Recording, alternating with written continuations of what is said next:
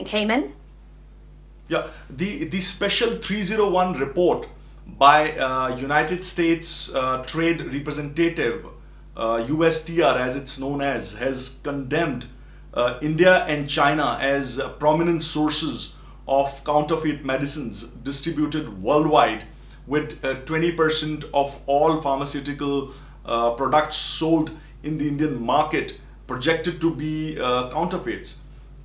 the USTR uh, report, which is which is an annual review of the IPR protection and enforcement uh, measures regarding US uh, trading partners, has placed India on the uh, priority watch list for violation of uh, IPR, thereby suggesting that these violations could actually represent uh, a serious threat to patient health and safety.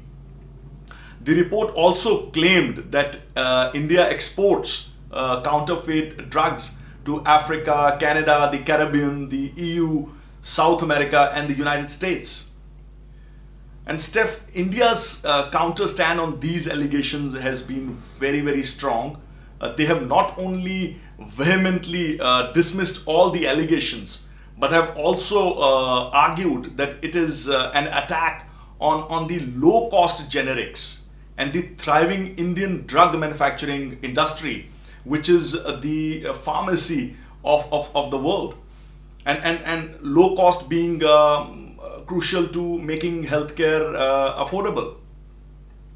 And, uh, and India has uh, also, uh, beg your pardon, India has also questioned the, the, the genesis and methodology of uh, uh, this USTR report.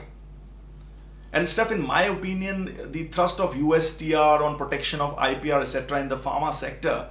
uh, will will lead to keeping the prices of uh, pharmaceutical and uh, products and medicines uh, so high that it will uh, be beyond the reach of uh, developing nations, thereby seriously affecting the the um, middle and lower income group and, and, and the poor people.